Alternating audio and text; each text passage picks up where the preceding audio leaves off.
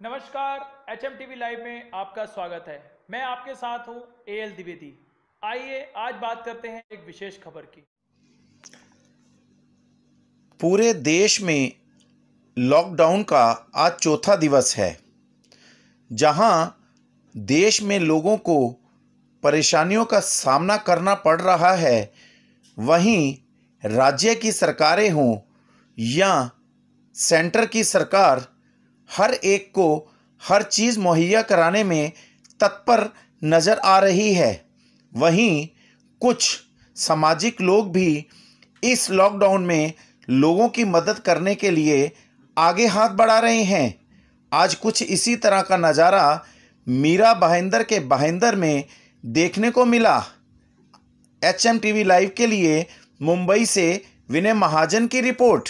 करना चाहता हूँ। जो मेरी कैपेसिटी हमारे यहाँ दो आमदार हैं।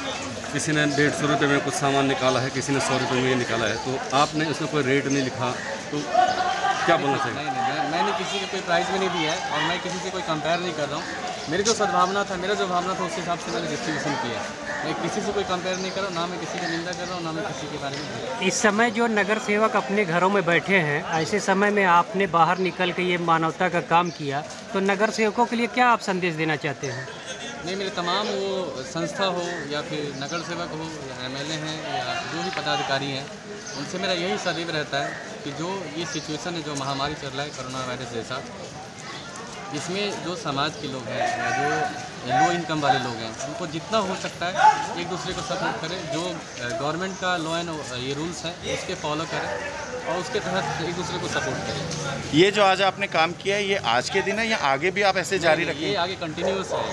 जितना मेरे से हो पाएगा मैं उतना करूँगा। आपने कुछ अलग अलग इलाके चुने होंगे कि कहाँ कहाँ आप, समाज के लोग रह रहे हैं तो कहाँ कहाँ जाएँगे इसके बाद जी इसके अलावा काशी गाँव में रहेगा इसके अलावा हमारा गांधीवली में रहेगा जो बोईसर एरिया है जो लो इनकम वाले जो जितने भी विराट में रहेगा हमारा।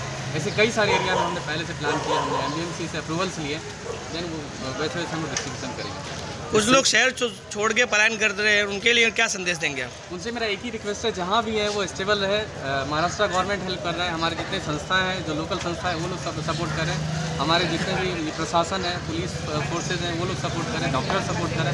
हर एक तरीके से उनको सपोर्ट मिलेगा डेफिनेटली हम लोग ऐसा उम्मीद करते हैं। थैंक यू थैंक यू देश दुनिया की खबरों को देखते रहिए तब तक के लिए मुझे इजाज़त दीजिए। नमस्कार।